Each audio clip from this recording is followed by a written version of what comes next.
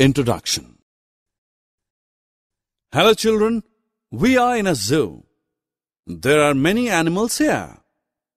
Big fat elephant, giraffe with long necks and spotted patterns, large brown bear.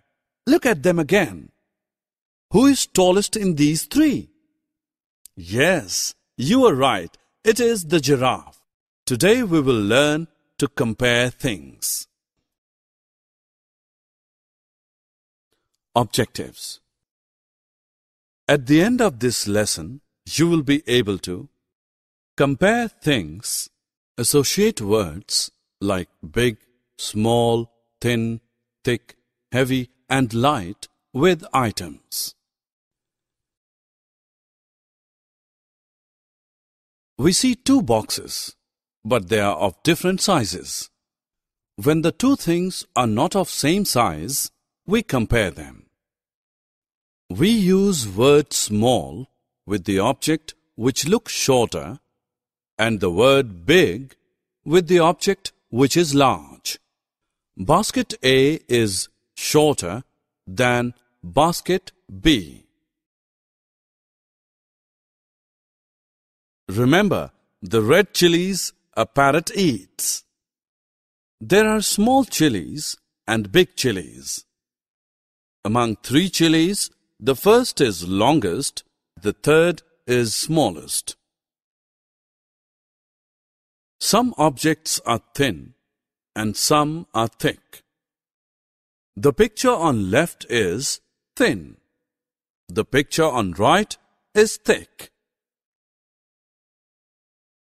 To compare the thickness of more than three objects, we use the words thickest and thinnest. The first stick is thickest. The third stick is thinnest.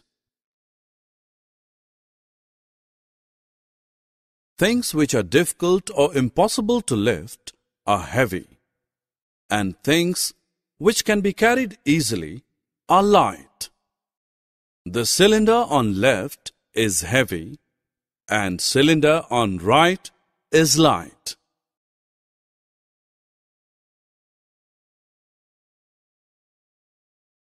Things which are difficult or impossible to lift are heavy, and things which can be carried easily are light.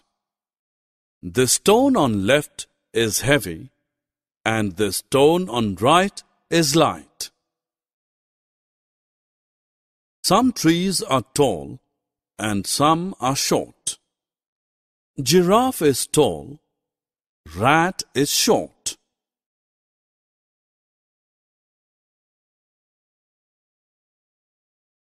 Objects can be measured in different ways. You may use your hand span or you may use your arm. You can even use your step for measurement or simply your feet can be used for measuring distance. All these can be used to measure the lengths.